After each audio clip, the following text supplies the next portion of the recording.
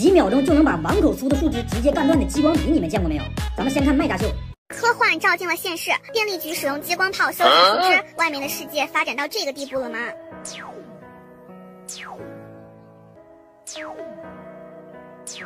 我去，这也太猛了吧！这也太行了！激光轻轻一照，那么粗的树枝直接就干断了，这不会是激光武器吧？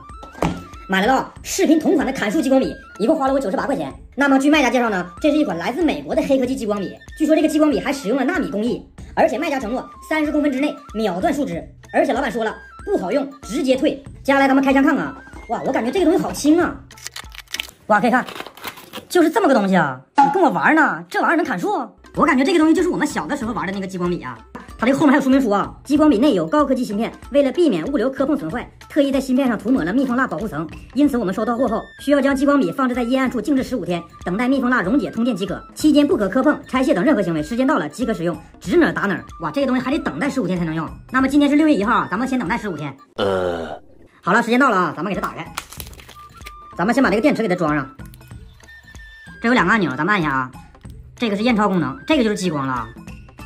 哎，这也没事啊，这连手都不疼，这玩意儿怎么砍树枝啊？这拿我当傻子呢吧？人家本来就傻，你还逗人家？不行，我要找卖家问一下啊！我操，你敢信兄弟们，他这个东西居然下架了。